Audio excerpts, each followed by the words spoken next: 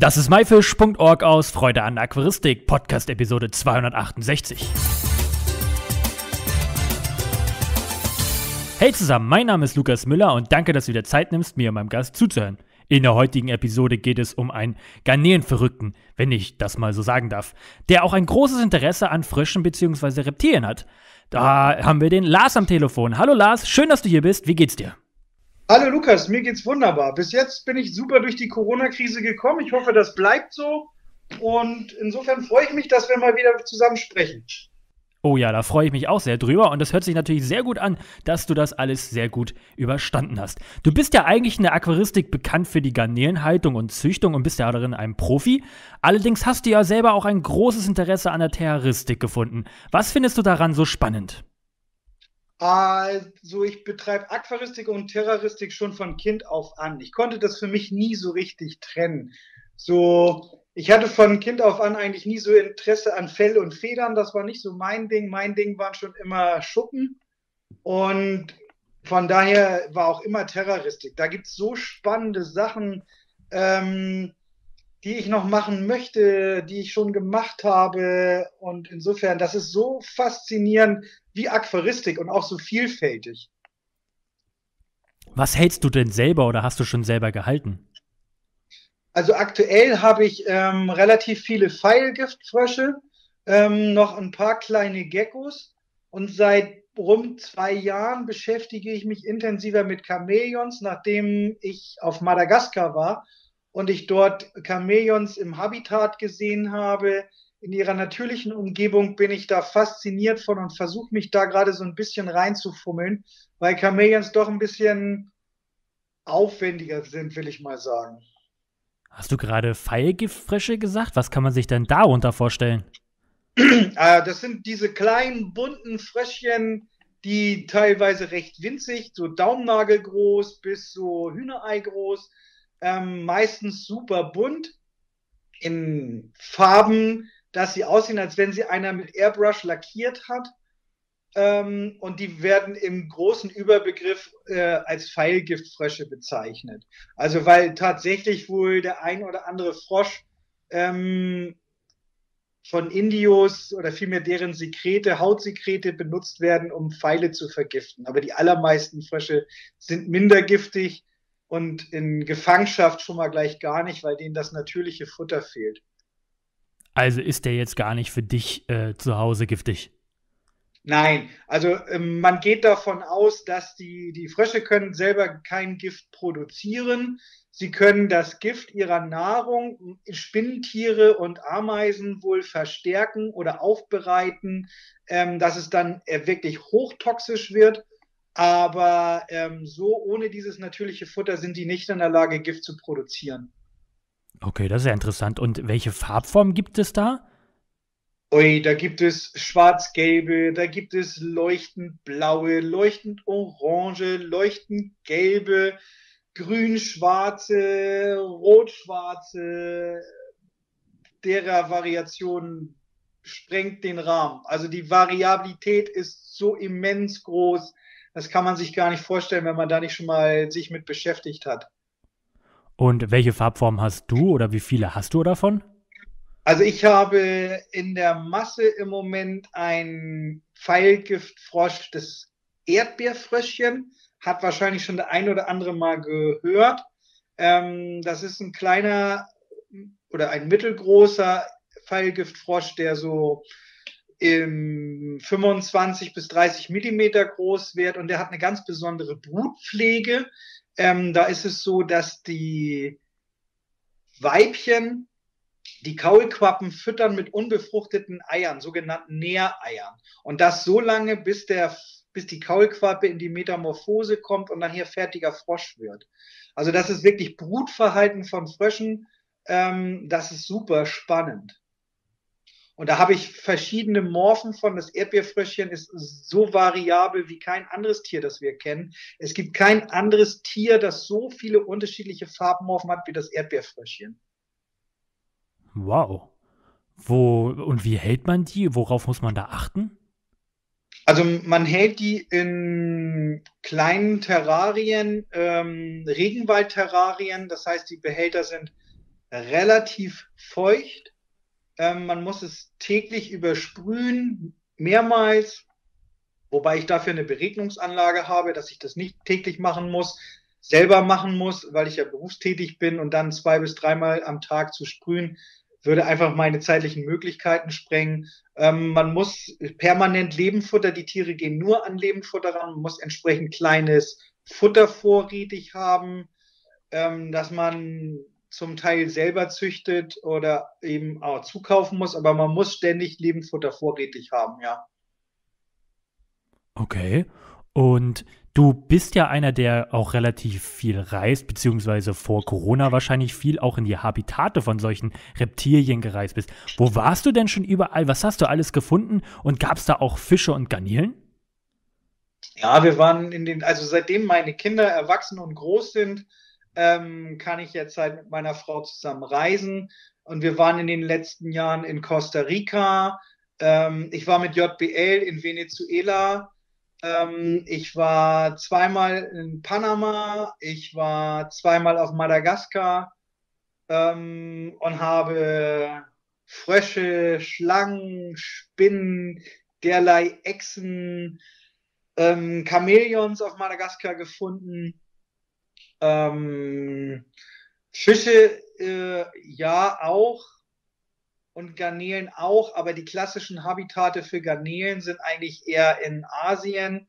Von daher sind mir ja schon auch Garnelen begegnet. Ich habe in Panama eine ganz wundervolle ähm, Großarmgarnele, Macrobrachium hancocki, das ist eine leuchtend blaue Garnele, gefunden. Ähm, wunderschön, aber da sie sich über lavale Stadien im Meer vermehrt, ähm, ist es hier nicht so interessant. Man bekommt die Tiere gar nicht. Es wird von Panama leider nichts exportiert hierher. Das sind einige Länder, wo du schon warst. Was genau machst du denn, wenn du diese Tiere, sag ich mal, findest oder gehst du speziell auf die Suche? Also ich, ich gehe speziell auf die Suche. In, in Panama und Costa Rica war es so, dass ich ganz bestimmte Habitate aufgesucht habe, die ähm, als Fundorte bekannt waren. Ähm, habe dann vorab Informationen eingeholt, ähm, wo man die Tiere finden kann, teilweise von Leuten, die auch schon da waren, ganz genaue GPS-Koordinaten ähm, eingeholt, wo man Tiere finden kann. Ähm, und dann werden Fotos gemacht. Also ähm, das ist dann quasi die Jagd aufs Foto. Und natürlich, wenn ich ähm, solche Tiere pflege oder pflegen möchte, werden ähm, Daten genommen, Klimadaten, beispielsweise wie ist der UV-Anteil im Licht, solche Sachen, oder aber wie sieht das Habitat überhaupt aus von den Tieren äh, und, und, und ähm, was kommen dort für Pflanzen vor, was, was findet man unter Umständen an Nahrung, was ist die bevorzugte Nahrung, die man so sieht ähm, für die Tiere, solche Sachen dann. Ne? Ist es denn jetzt eher so ein Hobby mit der Fotografie und den Reptilien zusammen oder geht das schon weiter bei dir? Also das ist ähm, für die Fotos ist meine Frau Jutta zuständig. Ich bin der, der die Tiere aufspürt und ihr dann letztlich assistiert für die Fotos. Also die Fotos bei uns macht Jutta. Wir haben ja auch schon immer mal Artikel geschrieben in verschiedenen Zeitschriften. Ähm, und die Fotos, die dort dann geliefert werden, sind alle von Jutta. Also ich selber fotografiere nicht. Ich bin so eher der Sammler und Jäger, sage ich mal. naja, das ist ja auch eine wichtige Aufgabe.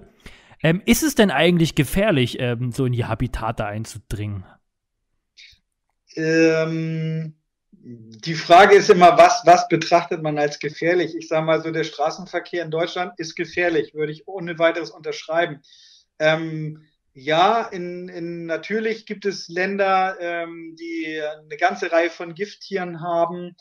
Ähm, aber Madagaskar beispielsweise ist so ein Land, das hat nur minder giftige Tiere. Sowohl die Schlangen als auch die Spinnen und auch die Skorpione dort sind vergleichsweise harmlos. Nichtsdestotrotz sind die Bisse schmerzhaft. Aber ein Biologe in Panama hat mir einmal erzählt, als wir nachts im Wald waren und ich so eine ganz ähnliche Frage gestellt habe, hat er zu mir gesagt, alle Tiere sind Freunde. Ähm, die größere Gefahr geht häufig von den Menschen aus. Und tatsächlich ist es ja so, dass die allermeisten Tiere Instinkten folgen und ähm, eigentlich eher zurückweichen und nicht angreifen. Aber natürlich ist es so, wenn man an eine Schlange eine gewisse Distanz unterschreitet, dann wird sie sich mit Sicherheit zur Wehr setzen. Und ähm, es ist halt auch nicht immer ganz einfach, die Tiere zu erkennen, natürlich. Aber vom Grundsatz her würde ich erstmal sagen, es ist nicht zwingend gefährlich, wenn man sich entsprechend kleidet. Also wenn ich in den Regenwald gehe, habe ich immer sehr hohes Schuhwerk an, also keine Flipflops oder Sandalen oder solche Sachen.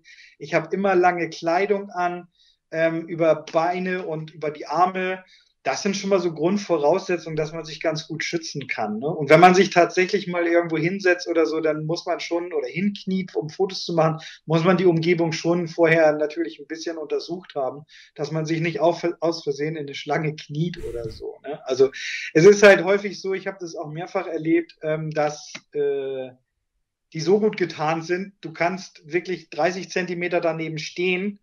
Wenn die Schlange sich nicht rührt, wirst du sie nicht sehen. Aber es ist halt auch so, dass in bestimmte Habitate nehmen wir eigentlich immer Guides vor Ort.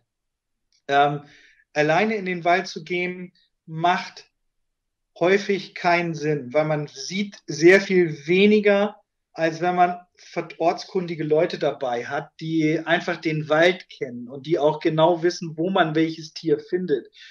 Denn nur weil das heißt, ja, in diesem Abschnitt, was weiß ich, auf fünf Quadratkilometern gibt es dieses Tier, weißt du ja immer noch nicht, wenn das klein ist, wie du es finden sollst. Wir reden ja nicht von Tieren, die wie eine Kuh so groß sind. So, von daher, also wir machen es, auf Madagaskar ist es zum Beispiel in den Nationalparks so, du musst immer einen Guide nehmen, sonst darfst du gar nicht in die Nationalparks rein. Und auch in Mittelamerika haben wir häufig Leute vor Ort gefragt, ähm, wo können wir ortskundige Leute ähm, finden, die, die mit uns zusammen in den Wald gehen. Ne? Hm, hast du denn auch schon den Pfeilgiftfrosch in einem Habitat gefunden? Ah ja, ich habe in Venezuela beispielsweise Dendrobates leucomelas gefunden. Das ist so ein schwarz-gelber Frosch, ähm, wunderschön. Ähm, das war ein Grund, warum ich mit nach Venezuela wollte weil ich einfach mal sehen wollte, wie dieser Frosch im Habitat lebt und wie er da so quasi auftritt. Oder auch das Erdbeerfröschchen in Costa Rica und in Panama haben wir davon ganz viele Morphen gefunden. Ähm, ja, natürlich habe ich die Tiere dort schon gefunden. Es ist auch nicht so schwierig, wie, wie man sich das vielleicht vorstellt. Also der Frosch ist tatsächlich ja, wie gesagt, im, im, im Maximum vielleicht 30 Millimeter groß, aber nichtsdestotrotz, da wo er wirklich vorkommt, kommt er häufig in sehr hohen Dichten vor. Also wir reden dann tatsächlich davon, dass auf einem Quadratmeter ähm, teilweise bis zu zehn Frösche zu finden sind. Ähm, und insofern, wenn man, wenn man genau weiß, wonach man sucht und wo man suchen muss, findet man halt auch die Tiere. Was zum Beispiel bei Chamäleons viel schwieriger ist. Also du kannst 30 Zentimeter vor dem Chamäleon stehen, es sitzt vor dir im Baum und du siehst es schlichtweg nicht. Ja. So, weil es halt so gut getarnt ist, dass, dass du es einfach nicht siehst. Schlicht und ergreifend. Ja, das hat man ja auch, wenn man ein Terrarium reinguckt, wo ein Chamäleon drin sein soll. Man braucht ziemlich lange, bis man es gefunden hat. Ja, genau, genau. Ich habe das teilweise, ich habe ähm, Chamäleons, die sind wirklich 30 Zentimeter groß. Ähm, und du stehst einen halben Meter vom Terrarium weg und du siehst es nicht. So, ja. wo du denkst, es kann nicht sein, es muss da sein. Aber wenn du dir dann ein bisschen Zeit lässt, irgendwann hast du es erst spät. Ne? Aber in der Natur ist es halt noch mal schwieriger. Hast du denn eigentlich Angst, dass sich mal irgendwas Giftiges in der Natur beißen könnte, trotz Schutzkleidung? Nee, wenn ich da Angst vor hätte, würde ich zu Hause bleiben. Ich sag mal so, wer, wer Angst davor hat, ähm, der kann sich da solche Sachen im Fernsehen angucken. Man muss schon ein bisschen neugierig sein, ähm, aber Angst ist mh, mm, immer ein schlechter Begleiter. Man muss vorsichtig sein, das ist überhaupt gar keine Frage. Und man muss umsichtig sein, aber ich glaube, Angst? Nein, Angst habe ich gar nicht. Das klingt auf jeden Fall sehr gut. Kann denn jeder so eine Reise machen und in diese Habitate mit einem Guide äh, hin, hinfahren? Also es gibt sicherlich Länder, wo man nicht alleine reisen kann. Also ich zum Beispiel würde nicht alleine nach Madagaskar reisen wollen, ähm, weil das in vielerlei Hinsicht schwierig ist, alleine zu bereisen. Also zum einen ist da schon mal die sprachliche Barriere. Ich spreche kein Französisch. Ähm, mit Englisch kommt man semi gut zurecht dort.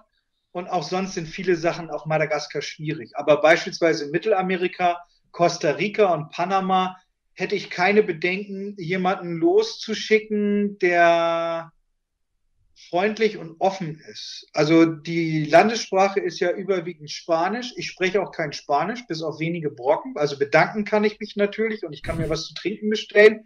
Ähm, aber dann erschließt sich das auch oder dann war es das auch für mich. Aber man kommt ähm, sehr gut mit Englisch zurecht, insbesondere auch in Panama. Aber wenn man einmal im, unterwegs ist und auf indigene Bevölkerung trifft, die definitiv kein Englisch spricht, mit Händen und Füßen bin ich noch immer klargekommen, wenn man nett und freundlich ist. Das ist das A und O bei solchen Reisen. Man muss offen sein und nett und freundlich sein. Und dann gibt es noch sicherlich gewisse Verhaltensregeln in solchen Ländern, dass man zum Beispiel nicht nachts mit dem Auto unterwegs ist. Das kann halt immer gefährlich sein. Man darf halt immer nicht vergessen in solchen Schwellenländern oder Entwicklungsländern, dass die Leute teilweise sehr arm sind. Und da gibt's halt ja, vielleicht auch böse Buben. Aber am Tage ist es nach meiner Erfahrung eigentlich immer relativ safe. Aber nachts steht halt in vielen Reiseführern, soll man nicht machen. Das wird einem auch oft empfohlen, wenn man im Hotel ist. Wenn man nach, abends nochmal los will, dann muss man Einheimische dabei haben. Sonst, sonst kann es tatsächlich echt gefährlich werden. Aber eben eher wegen der Menschen als wegen der Tiere. Wobei ich auch nicht nachts alleine in den Wald gehen würde da verläuft man sich schon schnell. Da muss man auf jeden Fall Leute dabei haben, die sich auskennen. Hast du denn schon selber Tiere aus solchen Habitaten mitgebracht? Nein, niemals. Also es ist äh, eine Bedingung gewesen meiner Frau von Anfang an, wenn wir solche Reisen machen, ähm, dass keine Tiere mitgebracht werden. Die Bestimmungen in den Ursprungsländern sind teilweise wirklich drastisch wenn du erwischt wirst, dass du illegal Tiere mitnimmst. Und ähm, ich habe Bilder von Gefängnissen gesehen in Mittelamerika. Das möchtest du nicht. Und ich möchte das auch nicht. Also ich sag mal so, die, die Tiere, die, die ich habe, sind alles legale Nachzuchten oder teilweise vielleicht auch legale äh, Importe aus solchen Ländern.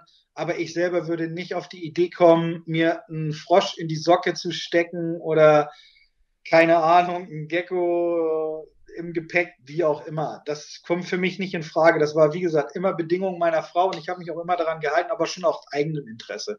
Also es ist hier bei uns in Europa so viel verfügbar, ähm, dass man nicht auf so illegale Sachen zurückgreifen muss. Also klar, es gibt immer Sachen, die Begehrlichkeiten wecken. Ähm, ich habe in Costa Rica wirklich ähm, sogenannte Blue Jeans gesehen, also Erdbeerfröschchen mit leuchtend blauen Beinen und total rotem Körper.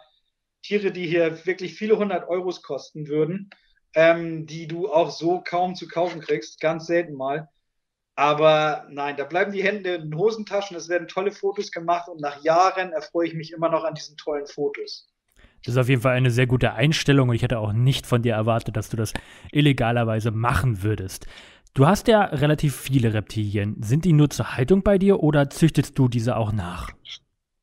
Also ich ja, mein, mein Bestreben ist eigentlich immer, ähm, die Tiere zu vermehren. Das ist so eine der ähm, Antriebsfedern oder Motoren, die ich habe, dass ich immer das volle Programm, das volle Repertoire sowohl von Paarung als auch Vermehrung haben möchte. So, also dass ich einfach ähm, für mich sage, ich möchte wissen, wie, wie die Tiere sich verhalten in unterschiedlichen Situationen. Und das ist natürlich insbesondere Brutpflege oder, oder Paarung oder, oder Revierverhalten, wie auch immer.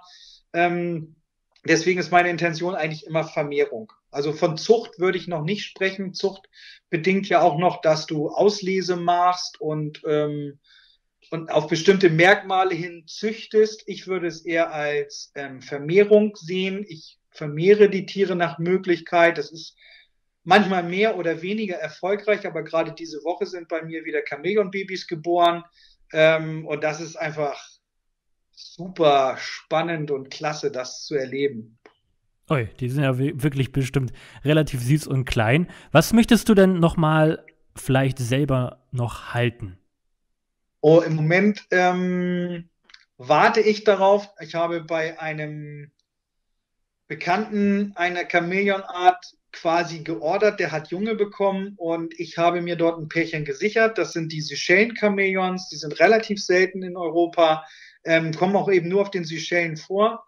Ähm, die möchte ich pflegen und dann möchte ich mich im nächsten Jahr ähm, beschäftigen mit Erdchamäleons von Madagaskar. Das ist auch so eine ganz spannende Geschichte die relativ selten ist, weil sich nicht genug Leute wirklich drum kümmern wollen, weil die Erdchamäleons sind halt braun. Und ähm, braun ist nicht unbedingt so begehrt, also einfach von der Farbe her. Ähm, die Leute mögen es halt gerne bunt. Mit vielen bunten Chamäleons wird sich ganz viel beschäftigt, mit den eher unscheinbaren eben nicht so, aber mir haben es diese Tiere angetan.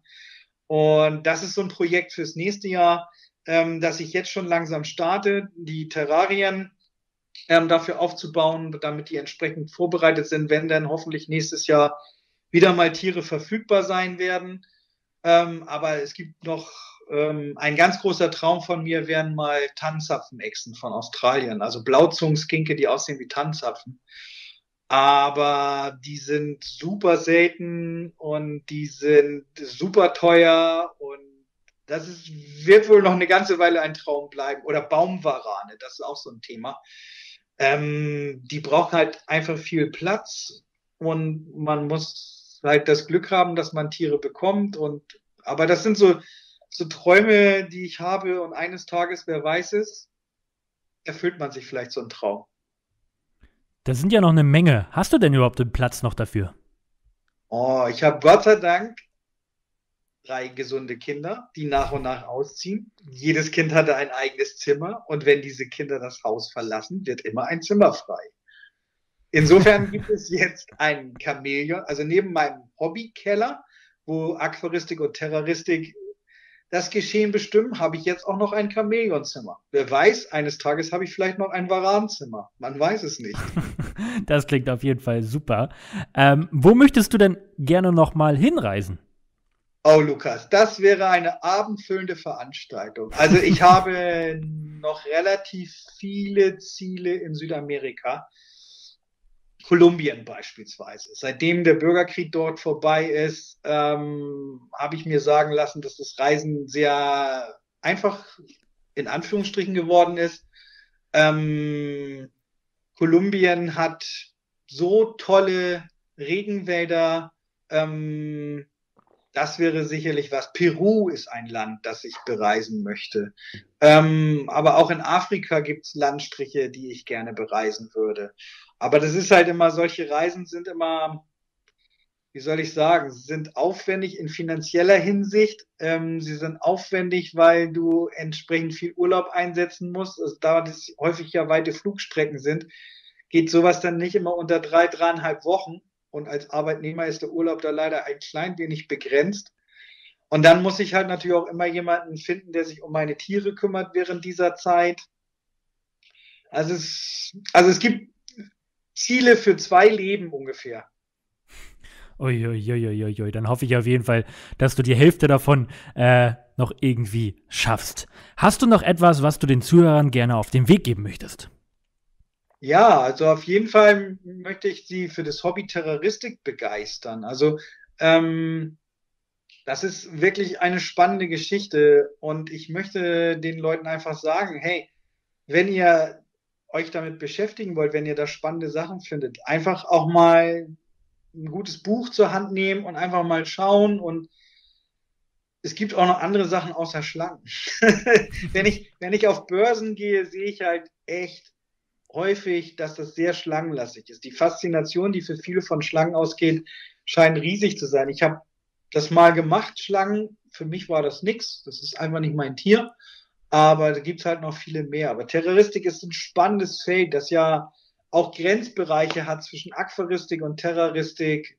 Zum Beispiel Krabben oder aber eben so Paludarien. Also beschäftigt euch gerne mal mit exotischen Tieren und Reisen natürlich sowieso. Also im Moment natürlich eher nicht. Im Moment ist das alles schwierig, aber sonst ist es schon eine coole Sache, wenn man es kann. Lars, vielen Dank für diese tollen Einblicke. Das hat mir wieder richtig viel Spaß gemacht. Das war richtig interessant. Und ich wünsche dir richtig viel Erfolg noch, dass du deine ganzen Träume erfüllen kannst. Vielen Dank, Lukas. Ich wünsche dir einen schönen Abend. Bleib gesund. Das war myfish.org aus Freude an der Aquaristik. Danke, dass du dir Zeit genommen hast, dir diesen anzuhören. Ich hoffe, du konntest einige Infos aus dieser Episode mitnehmen. Alle weiteren Infos zu dieser Episode mit Bildern und Links findest du wie immer unter www.my-fish.org slash Episode 268. Wir hören uns am nächsten Freitag wieder. Ciao, euer Lukas.